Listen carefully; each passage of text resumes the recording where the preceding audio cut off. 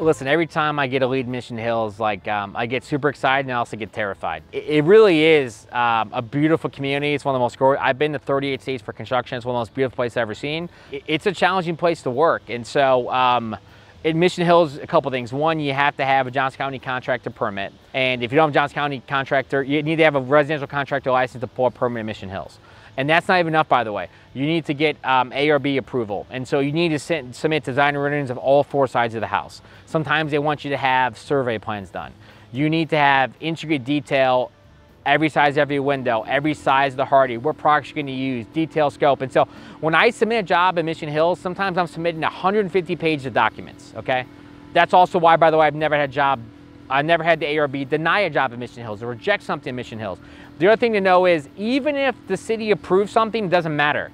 Because at the end of the day, if it doesn't meet their ARB guidelines, they'll make you rip it off, even if they approved it. Even if the city approves your permit, if it doesn't meet their architectural guidelines, it'll still be an issue. And by the way, they, they don't really have architectural guidelines. It's kind of whatever they want, whenever they want it. And so like, I've done several jobs there. They're gorgeous homes. It really does take extra planning. So I tell people, it's okay if you're not gonna hire Fairway. Please hire a contractor that's done several jobs in Mission Hills. Please hire a contractor that's gone through the process. Please hire a contractor that's not gonna leave you high and dry. And, and, once you go through the process, the city's actually fantastic to work with. Like once you go through it, they're very easy.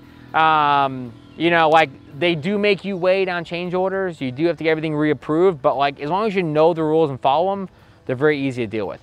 We do have to go through several inspections though, by the way. So we need to go through pre-construction, framing, house wrap, final inspection. And so it's just making sure that you work with a contractor who's organized, who knows what's going on, who can do the, the four-side design rendering, who could work with the submittal process. And so, I, I mean, I live in Fairway, hence Fairway Exteriors, and I do want to work Hills because I'm close there, but you know, it does require more things from, from any contractor's end. So as a homeowner, you need to have the right expectation going in that this isn't a, you meet with someone and you can just go do it. Because the reality is, is that um, every product we're gonna submit, it depends on what the, the, the, ARB says. And I'll give you an example, like you can't use Hardie shingle in Mission Hills, but you could use Hardie lap siding, you could use Hardie panel. On some houses, you can't, you can't put shutters. Some houses you can.